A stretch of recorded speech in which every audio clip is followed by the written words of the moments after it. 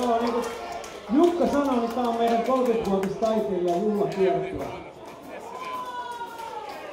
Me aloitettiin bändi vuonna 1983 yläasteen kasiluokalla Patsulin seiskalla.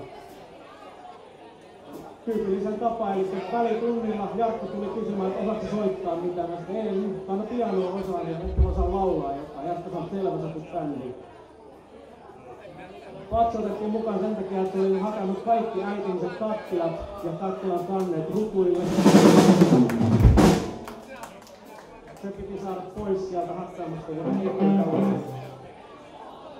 No niin, meitä sanottiin, meillä oli joku, joku semmoinen keikkajulisti, missä sanottiin, että and Young, eli ylpeät on sillä, että me ollaan nopeampi kuin Motorhead.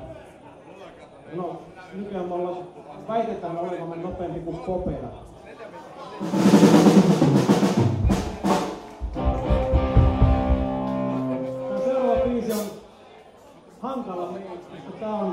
Tehty paljon sen jälkeen, kun me lopetettiin jo. Mutta me ollaan sittenkin harjoiteltu, katsotaan mitä se tuottaa.